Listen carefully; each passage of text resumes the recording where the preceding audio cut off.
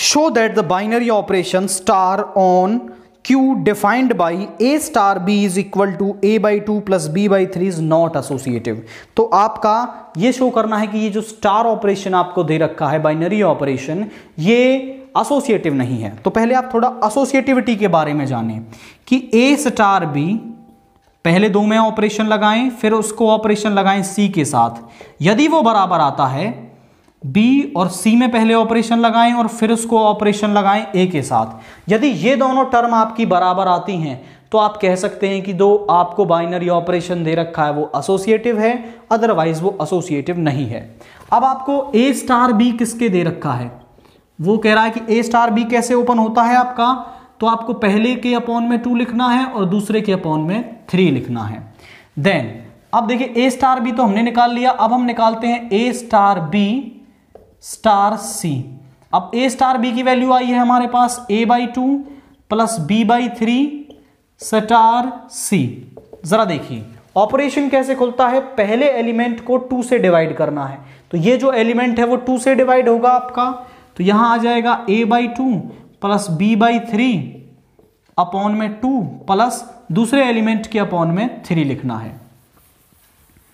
अब जरा देखिए, इसका एल्शियम ले लीजिए ऊपर। एल्शियम आ गया सिक्स ये हो जाएगा three A plus two B और यहाँ पर है टू नीचे plus C by three.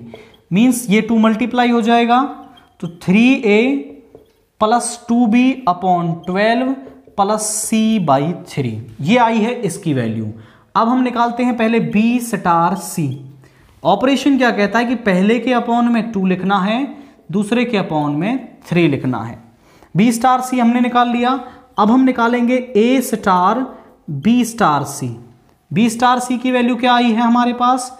ये वैल्यू यहाँ पर रख दीजिए आप। ऑपरेशन क्या कहता है कि पहले के अपॉन में टू लिखेंगे प्लस दूसरे वाले के अपॉन में थ्री लिखेंगे। तो B by two plus C by three upon three इसका एल्शियम ले लेंगे आप। A by two plus LCM आ जाएगा सिक्स ये हो गया three B plus two C और नीचे है टू। ये मल्टीप्लाई होके क्या बन जाएगा? A by two plus three B plus two C upon two तो जरा देखिए, ये वाला जो एलिमेंट है, ये इसके बराबर नहीं है। ध्यान से देखें, इनकी वैल्यू बराबर नहीं आई है। तो यहाँ पर आप क्या कहेंगे कि A star B star C जो है, वो बराबर नहीं आया है A star B star C के।